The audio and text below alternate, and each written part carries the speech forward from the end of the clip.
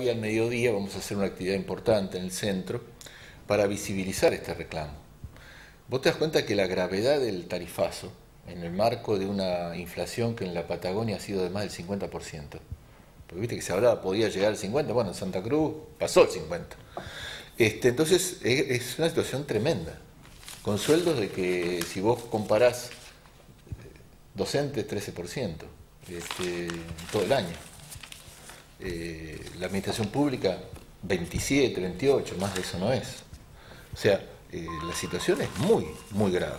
Y ya a eso le agregas el tarifazo, donde las tarifas suben 35, 40, 45. Perdón, este, este dato que se conoció no incluye las tarifas cuando se habla de los datos de inflación o están dentro de este dato? Sí están, pero están las tarifas pasadas. Lo que no están son las tarifas que vienen ahora, a partir de ahora, para este año, que es justamente el anuncio que se hizo antes de fin de año.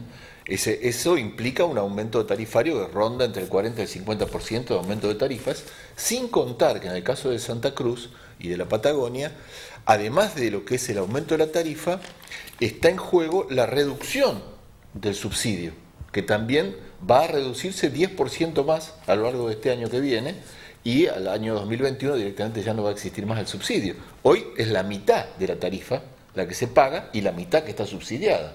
Si nos siguen sacando de día 10%, a la quinta vez 10% se acabó el 50% que todavía tenemos de subsidio. Y ya nos sacaron en octubre un 10%.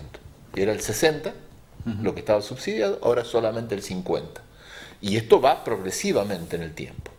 Bueno, acá tenemos caso de la, tarifa que tiene Ramón, este, tiene una tarifa de 8 mil pesos para el bimestre. Ramón, a ver, cuéntanos un poquito, por favor. Eh, usted, bueno, tiene la, documentación, tiene los papeles en la mano. Eh, en principio, bueno, eh, ¿qué consumo promedio? ¿Cuántos calefactores? ¿Cómo, cómo está lo que tiene que ver con el gasto ¿no? y en su propia casa? Claro, este, acá tengo una tarifa, por ejemplo, de, mes de mayo del año 18, donde empecé a pagar eh, eh, dos cuotas de 1.700 pesos. 1.700. Mayo del cada cuota. Claro, cada cuota. Bien. Después, bueno, tengo la otra de fin de año, donde ya estoy pagando 7.000 pesos, dos cuotas de 3.500 pesos. Y no traje la última, porque la última me la tiene ahí, se lo entregué a un diputado para que lo analice ya llega a 9 mil pesos, dos cuotas de 4.500 pesos. 9 mil pesos de gas. Claro, o sea, para pagar recién en marzo. O sea que acá se está, eh, uno se da cuenta de que ni siquiera miden lo que uno consume. Porque yo estoy de acuerdo que en invierno uno consume, pero a la fecha hoy uno este, trata de apagar todo. O sea, es decir, lo que le llegó este mes es lo que consumió en el mes de diciembre. Claro, está pagado, lo pagamos, lamentablemente. Bueno, uno hace un esfuerzo, lo paga y ahora tengo que pagar eh, dos cuotas de 4.500 este, a, a, marzo, digamos. Entonces eso, yo tuve la posibilidad de hablar con un directivo de Gamuse, donde me hizo, digamos, este, ahí un, un porrateo todo esto del año 2015 hasta ahora. Y sí, yo siempre consumí lo mismo, le digo, siempre consumí lo mismo. Me habla de 18 mil, no sé cuánto miden ellos. Bueno, y yo tengo que consumir eh, 12 mil para que me puedan retrotraer este, al 50% este monto que estoy pagando hoy. Pero tengo que cortar el gas por tres meses por lo menos. Me dice, porque si no, no, no. Va a seguir el monto este que tengo actual, va a seguir. Y si hay aumento, me van a volver a aumentar. O sea, este, esa, es la, esa, es la, respuesta que me dio el, este administrativo de Gamuse. Ahora, eh, le, preguntaba recién eh, la cantidad de calefactores o el consumo para que quien que esté en su casa se dé una idea de lo que va a venir la próxima factura, porque realmente es, brutal. Sí, sí, este, no he cambiado nada. Tengo, este, por ejemplo, tres calefactores, después tengo la cocina, el termotanque. Y bueno, un consumo normal, ¿no es? Normal, claro, de grandes dimensiones. Sí, sí, sí. Así que por eso digo, este, eh, tengo temor de que, o sea, como me dijo esto, o sea, no hay nada alentador que me diga eh, mira, si viene un aumento te va a volver a subir, o sea, puede llegar a los 10 mil pesos. Es mucha plata, yo vivo, eh, soy eh, sostén de familia, incluso tengo a, mi hija, a mi dos nietas que están en mi casa, y tengo que hacerme cargo yo. Tengo a mi hija que está desocupada, que, que ella tiene un título, no ha conseguido trabajo todavía. Entonces yo tengo que hacerme cargo de todo esto. Y por más que uno dentro de todo tenga un sueldo más o menos este, eh, que pueda pagar, pues ya pagar 10 mil pesos es mucho, ya es mucho, ya directamente se va todo al carajo, digamos y bueno, este, también pasa con el impuesto a la luz, este, pero este, esto del gas es... Ese es brutal. Sí, sí, brutal, sí, sí. Y conozco otros casos. ¿eh? Ahora la, la, pregunta es qué va a pasar en invierno, ¿no? ¿Cómo hacemos en invierno para...? Claro, ese es el tema, que acá tiene que haber un, corte a esto. O sea, yo he hablado con algunos diputados, hablé con la diputada Reyes, hablé con algunos, que hagan algo. que hagan algo, que se muevan ellos a nivel nacional y también del otro bando igual. O sea, que tienen que moverse, a ellos les corresponde pelear por esto. Pero bueno, ojalá que se muevan y hagan algo. Ahora, lo concreto es que hay una decisión política. Esa decisión política está tomada, los decretos están firmados y las resoluciones de Nargas están hechas. No es que esto puede ser, que a lo mejor, que estamos, como quien dice, inflando un globo de algo que podría ocurrir. Está todo firmado. De acá al 2021, el subsidio desaparece. Esta tarifa que él está diciendo es con el 50% de subsidio. Imagínate lo que sería cuando no esté más el subsidio. O sea, va a ser la mitad de un sueldo, o más de la mitad de un sueldo. y más de la mitad de un sueldo. Eh, prácticamente para los sueldos bajísimos que se están cobrando hoy en la administración pública o en distintos sectores, es impagable, es imposible. Por eso es que nosotros hemos planteado la necesidad justamente de visibilizar este reclamo, salir a la calle, eh, hacer una radio abierta, como lo acabamos de realizar este mediodía, allí en el centro de la ciudad, frente al mástil mayor, porque eh, es necesario generar un reclamo que incluso no sea solo de, salir a la calle, sino ya de pensar en un paro activo que plantee recuperar el salario perdido, porque se ha caído el salario en forma brutal, terminar con esta política de tarifazos y defender, en el caso de la Patagonia, subsidios que no son regalos, que son subsidios tremendamente justos. Y se agrava por la situación que encima tenemos con la situación del transporte.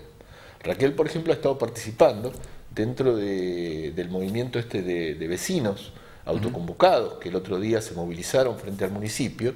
Este, y bueno, y ella te puede contar un poco la gravedad que tiene también la situación del transporte público donde también es otro de los temas que se viene un tarifazo fenomenal y ahora como fracasaron las este, licitaciones que se habían convocado, van directamente a un esquema de negociación directa. Con un base de, un piso, de un boleto a 25 pesos, una, piso, locura, Que es una locura, ¿me entendés? Entonces, esto es lo que está en juego. ¿no? Joaquina, eh, como bueno, secretaria de, Asuntos Jubilatorios, me imagino que eh, son nuestros adultos mayores los más preocupados también, eh, los más responsables a la hora de afrontar los pagos, pero también los más preocupados por la situación.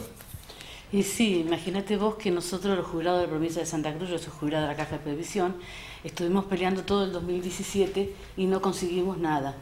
Y ya veníamos como que no nos daban aumento y, bueno, y así seguimos hasta ahora donde nos siguen pagando por goteo, hay gente que todavía no ha cobrado, hay gente que le deben los aguinaldos, el aguinaldo de, junio. Y bueno, imagínate vos que si para un activo le cuesta tanto pagar una boleta de luz, de gas, nosotros, que además de es el momento de nuestra vida donde necesitamos más que nadie una obra social, imagínate, tenés que pagar el remedio que casi no te la reconocen, está cortada todo el tiempo, imagínate tener que pagar la boleta de gas que también necesitas calor porque, eh, viste, eh, eh, acá en el sur es necesario, es como hablábamos con los compañeros en la Asamblea de Transporte.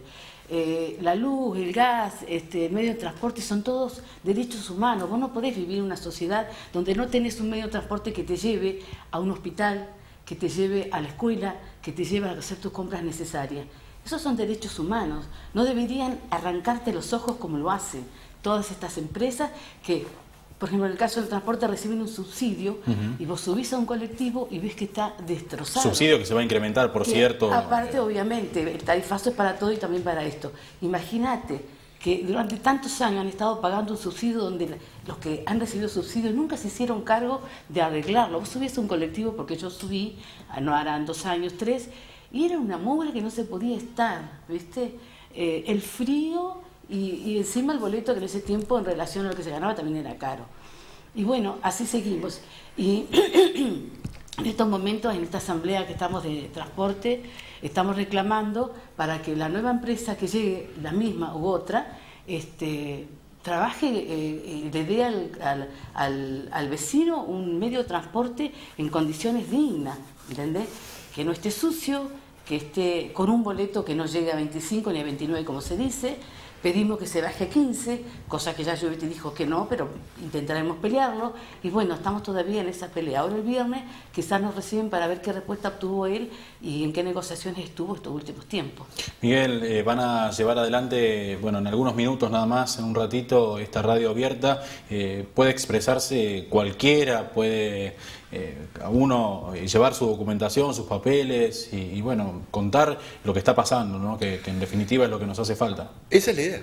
La idea, justamente como el nombre lo dice, es una radio abierta. Cualquier ciudadano que tenga una denuncia que realizar, un planteamiento que hacer, una opinión que dar, va a estar abierto el micrófono para que se expresen todos los amigos, los vecinos, los compañeros, este, y que puedan justamente plantear eh, esta situación, así como la gente del transporte se manifestó el otro día, bueno, acá esto es abierto a todos los esquemas y tiene que ver con el tarifazo, tiene que ver con el ajuste, tiene que ver con el reclamo del pago en tiempo y forma de los sueldos, porque también es un derecho que te paguen cuando corresponde y no que te paguen cuando quieren.